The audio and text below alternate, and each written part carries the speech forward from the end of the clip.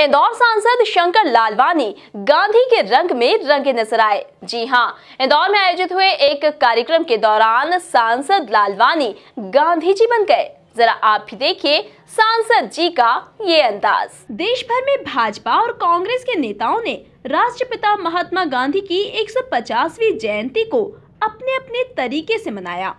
लेकिन इंदौर सांसद शंकर लालवानी ने ऐसा कुछ किया जो सुर्खियाँ बन गया। दरअसल लालवानी गांधी जयंती के मौके पर आयोजित कार्यक्रम में ऐनक पहने, लाठी पकड़े और चश्मा लगाए। महात्मा के रंग में रंगे हुए नज़र आए।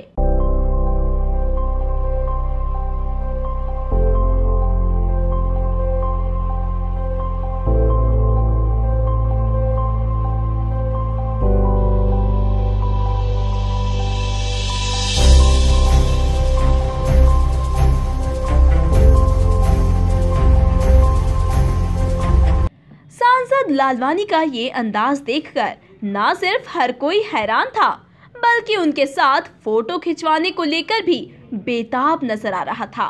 Bureau report MP news Indore.